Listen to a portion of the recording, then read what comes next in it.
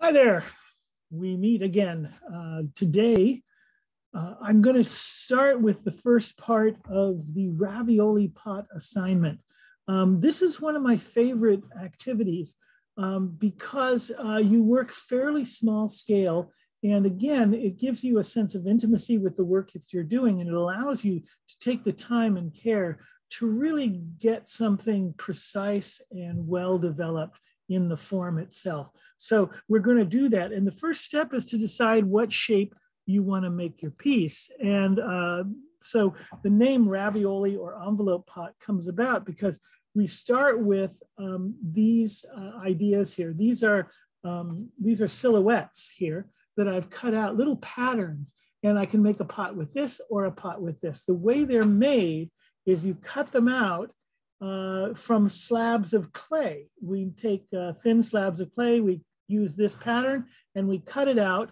And then, um, and then we um, take this and we cut it out twice. And then we put the edges together and make sure there's some air in the middle. And that creates the form that we're going to use for the body of our pot. And then we start looking at the anatomy of pottery and we start um, putting together um, uh, you know, you look at it because because pottery has uh, in it um, the same kinds of uh, ideas uh, of the human form. The words are used often the same. So, for instance, here's a simple mug, and this mug has a handle. Um, it has a lip. Um, you might call this a neck or uh, and then the body of the pot and then this would be the foot of the pot. And as the pots get more complicated um, they get more and more of those kinds of names. There's ears there's there's or lugs there's um, uh, you can say hips neck all kinds of qualities in a pot. So we'll start once we make our our form we'll start asking ourselves do we want to add a foot? Do we want to add um, a lid a neck um, what do we need? Do we need some, uh, some ornament on it? We'll start asking ourselves that question. But first, we have to make the form itself. And to start with, I'm going to show you uh, just a couple of techniques for making uh, textured slabs. So that's our first uh, start here. I'm going to make some textured slabs, cut some things out, and we'll see if we can join them or if they're too soft for that. So I'm going to move the camera here to the workspace here we are. See the workspace before you here. And I want you to be able to see the workspace clearly. So we'll get that going. There we go. So, so let's make a couple of textured slabs. So what we have now, I have some clay here. And this clay, actually this is not the clay is not what I'm after. Let me get the clay that I want to use. This is good clay to use for other projects here. We'll put that, wrap that up. Remember, we keep our clay covered with plastic as long as we're not, it's not in use, so it stays uh, moist and soft plastic.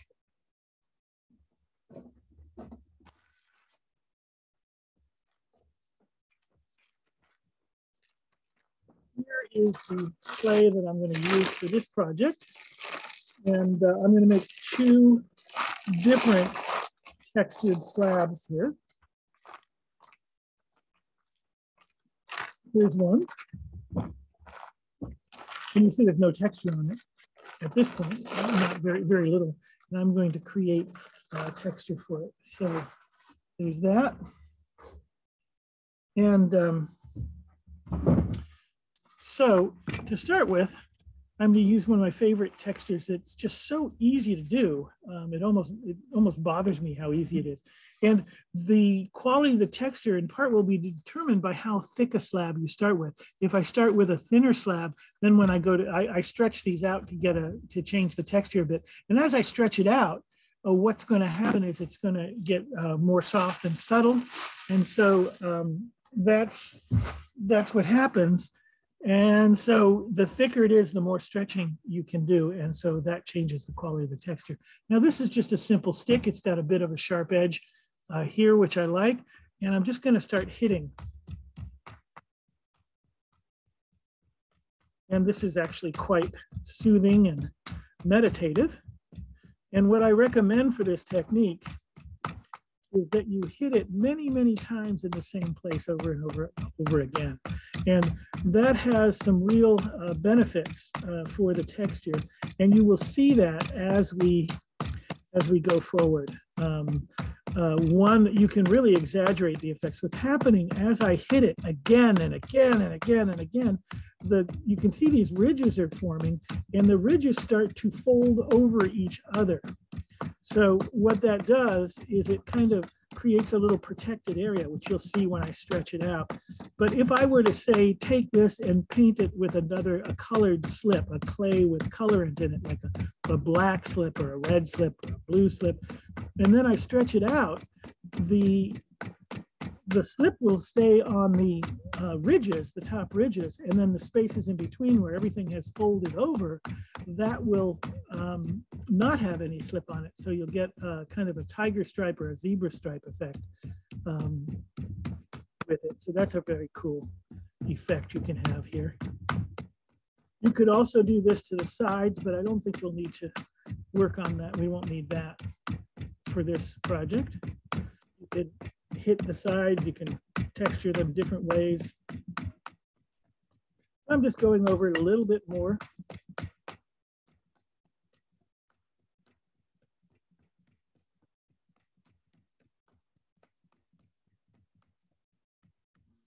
So that's a nice textured surface there. And now what I'm gonna do is I'm gonna stretch it out. And I do that by actually throwing the slab down on this board. And the board uh, is covered with cloth so it doesn't stick. You can also do this with plaster, um, with um, the plaster boards that are used in, in construction.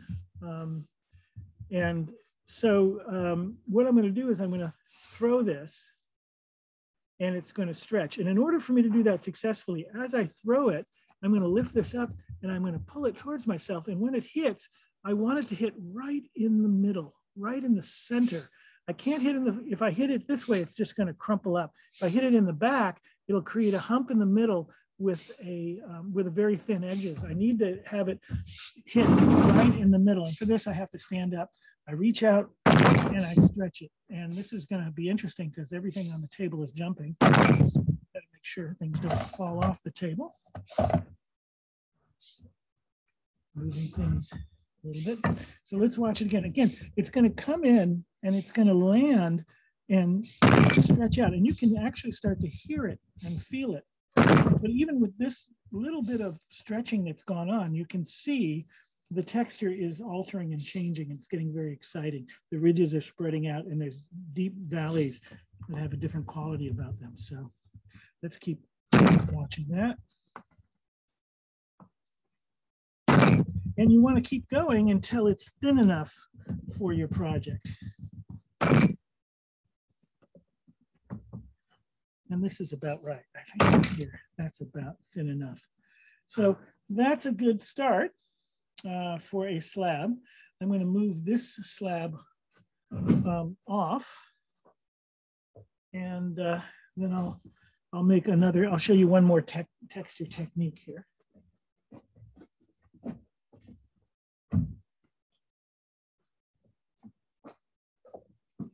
So here's one more slab.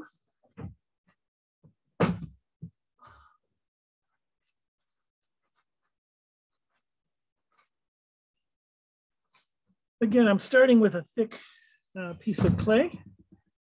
And let's see if I can smooth it up a little bit.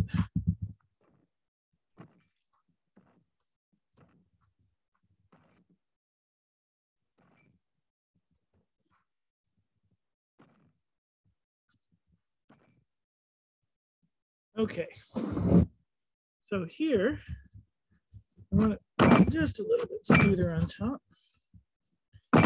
Is, you know, we're making slabs without actually ever using a roller, which is another way to do it. There's so many different ways to make slabs, and over time, I'll show you many of them.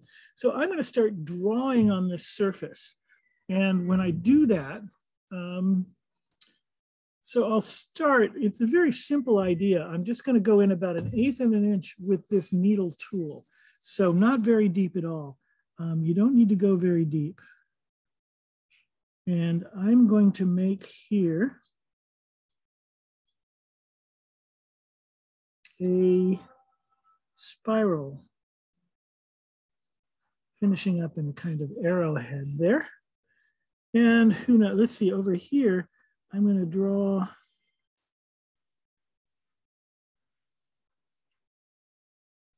three squares. Let's see what that does.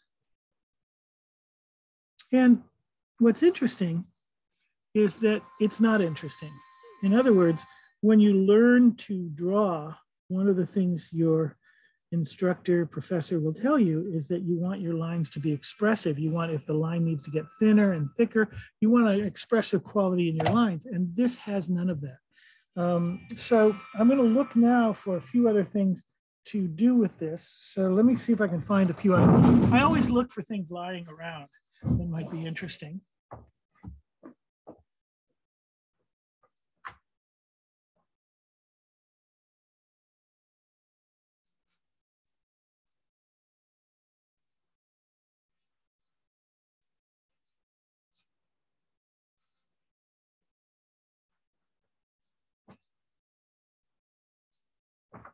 Course, I would have bricks.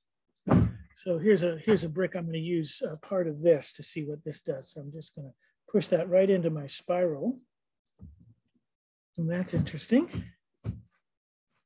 And I'm going to use this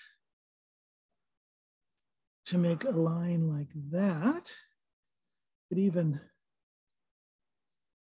do it here too. So I'm just I'm just kind of making impressions, and you'll see what happens. They they don't look that exciting, and your your teachers in drawing will tell you, oh well, of course they're not exciting. You're not making your lines expressive, but that's not my job. That's the job of the of the when I when I stretch it out. Got all kinds of things to play with here. So when I stretch it out, the stretching will actually create um, some interesting pattern here. I'm going to push that, these right in the middle, these kind of dimples. Don't know what they'll do. That's interesting to play with. And maybe do a kind of rounded indentation here. So let's see what this creates as we stretch it out. So you can see I've got a spiral, I've got these uh, squares within these dimples and then these incisions around the outside, these impressions. And then we're gonna stretch that and see what we get. Already with one throw, you can see the lines are starting to open up and get more expressive.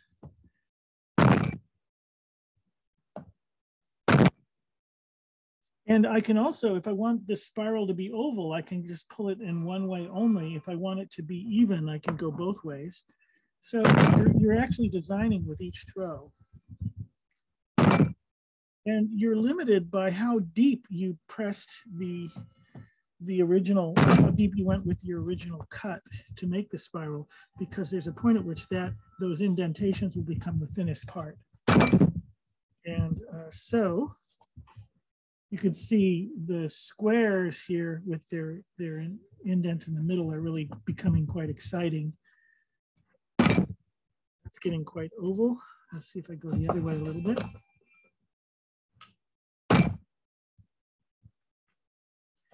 And maybe one more. That's about as far as I think we can go. So you can see uh, quite a lot of excitement there. And then when it comes to making the pot, I can actually, I'm only going to use part of it. I can say, well, I want that spiral or I want one of these squares to be featured. And um, when I have a pattern like this, which is asymmetrical, this is a symmetrical pattern, so I can cut it out exactly the same.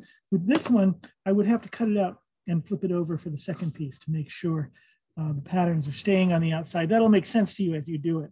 So I'm going to use uh, the linear one first to see how that goes. So I'm going to move this here and I'll come back with the first slab we made.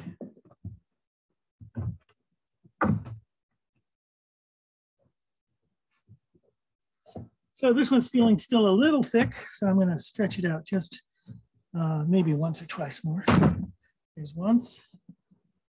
That might be enough because it is soft clay. So having it a little thicker makes it a bit easier on the, on the working.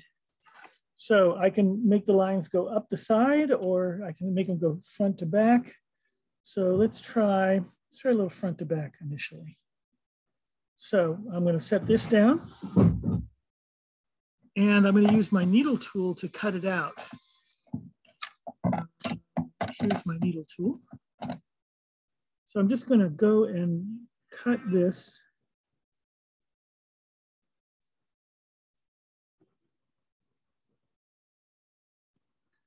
out of the clay slab. And remember, I have said for the second piece, I have to flip it over. So there's my first piece and I'll cut here and here so it'll let me get access to it. And as I look at it, it does look a little thick, which means my piece will be a little heavy, um, especially on the outside here. So if I want, I'll show you what I can do about that in a minute. Let's take that and move it over here. And then remember, I'm gonna flip this over and I can use, I can make it go vertical on this side. That might be nice, have the lines go more vertical and I can, you know, I can place it anywhere I want. But remember now, I've, I use the stripe side, so now I'm using the non-stripe side. And that's really important because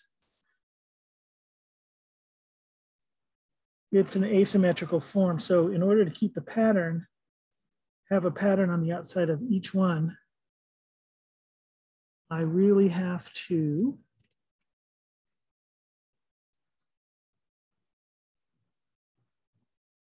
I really have to um, flip it over and this will make more sense to you as we go along. So there's the start of it. I'm going to take this clay off here and we'll pull that out so that makes it easier to get to.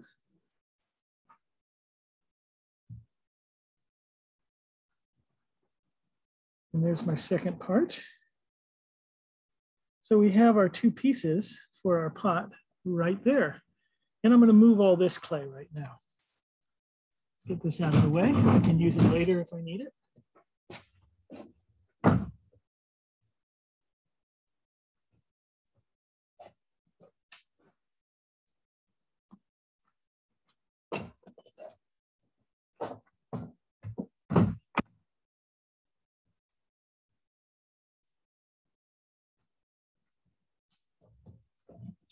And just so you can see this, I'm going to um, show you how the other piece might work. I'm going to take this one and let's cut it here.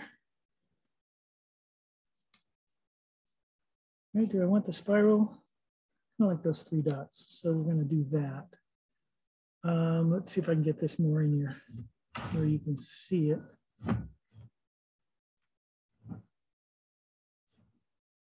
Um, it goes that way, so I need to go that way.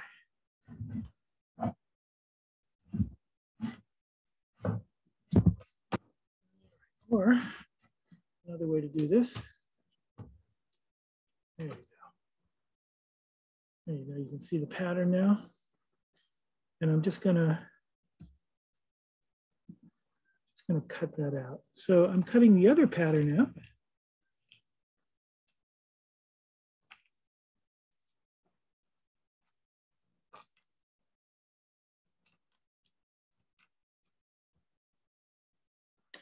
And let's do one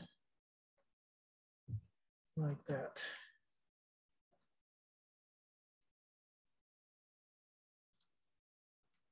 And remember, this pattern is symmetrical, so I don't have to worry about flipping it over. I can use it the same way when I'm cutting out pieces. So now I have these textured slabs cut to the shape of my silhouettes.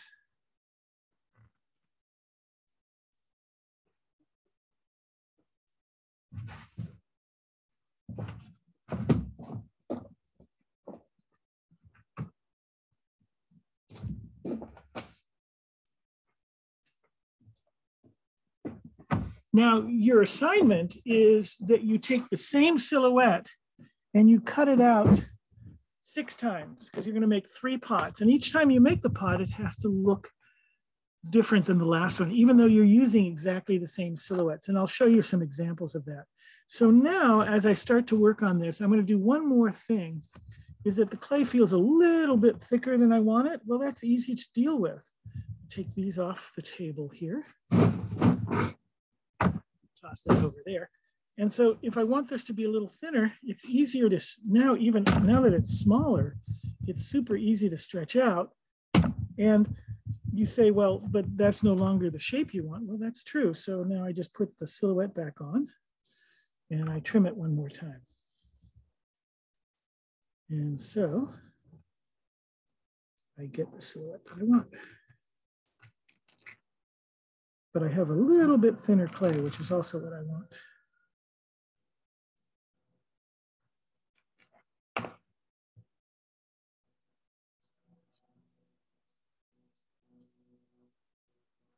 I'll do the same here. This is a little bit thinner, I'm just gonna throw it a couple of times just to just stretch it out a little bit.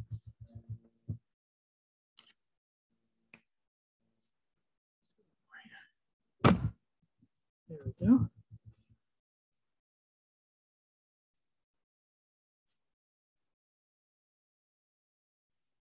Nice. So then I cut this one out one more time.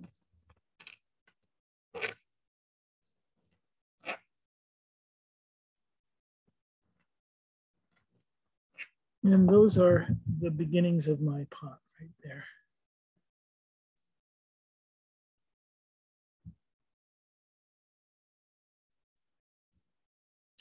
And so now I'm going to be joining it um, one side to another. So I'm going to start, I can lay it over on the side that's textured. If I'm very gentle and I don't push down, I won't change the texture at all. So I'm just going to lay this over now.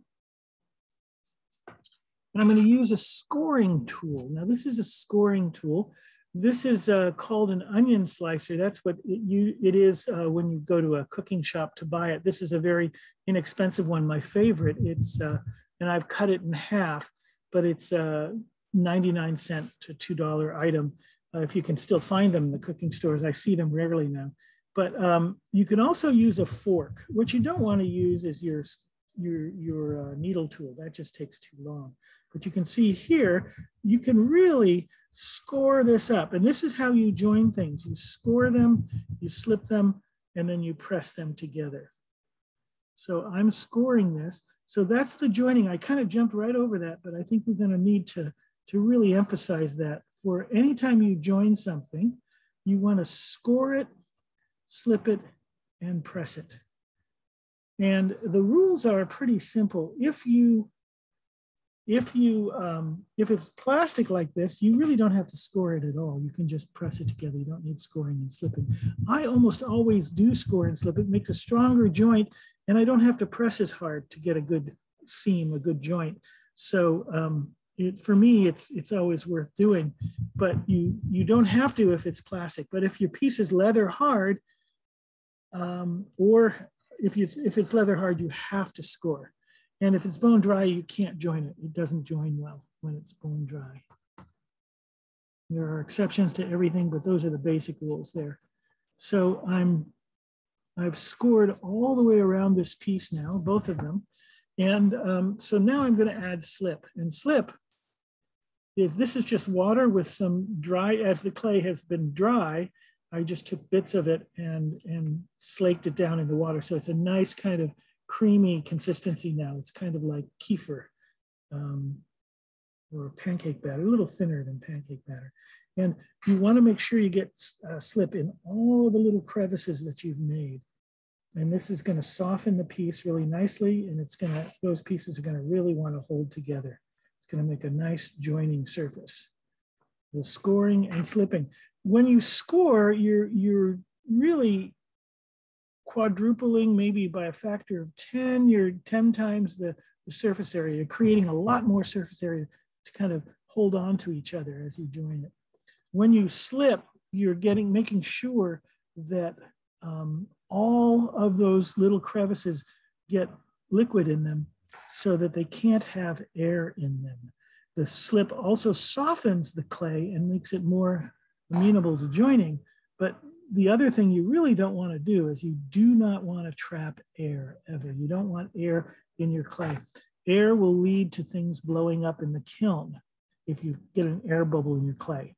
Don't want that. It will lead to things blowing up in the kiln. So we're going to avoid that. So now I've scored and slipped these pieces and I'm going to shape them a little bit. So, because if I put them together now, they'll just be flat and I need them to be kind of rounded and puffed out. So what I'm going to do is gently pick this up. I'm going to try not to touch the texture area. And then my fingers underneath are just wiping like this. And they're going to kind of belly it out a little bit, push it out. It's okay if I get some slip on my hands. It's always going to happen. I'm all right with that. I'm going to kind of bend this a little bit, get a nice kind of curve here. I want to get it started in the direction I want it to go. And I do want it to be rounded. And you can see, I'll show you in a minute here, I've kind of prepared uh, these newspaper, in this case, I think they're brown paper bag, but the same. Take, crumple up some newspaper or some paper bag, wrap it with tape here, and I have a little form that will hold the piece. I'm prepared to just, I just want it to hold. It doesn't have to be perfectly the right shape, but I want it to keep that roundness to it. So that's what I'm doing. I'm building up this roundness.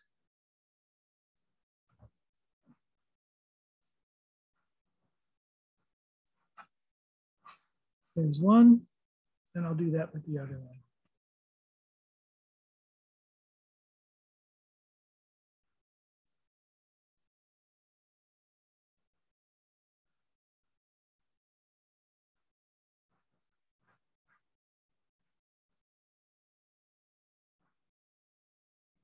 So after this step, I'm going to let it sit for a while because it's really soft clay. I want it to get leather hard.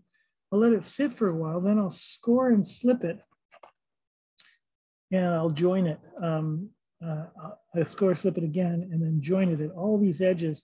And you can see it's going to make a form. Um, I don't want to get too leather hard because it needs to be, I need it to be standing up like this. In fact, I might try to prop it up with something a little bit to keep that shape the way I want it. So there we are. There's a start to, to the piece. And uh, this will end part one. You can see I've got textured pieces. I've shown you two different shapes, silhouettes, talked about scoring and slipping. I've shown you two different texture techniques. And then we will uh, be back to join these and finish work on finishing them up a little bit. So until next time, stay safe and make lots of art.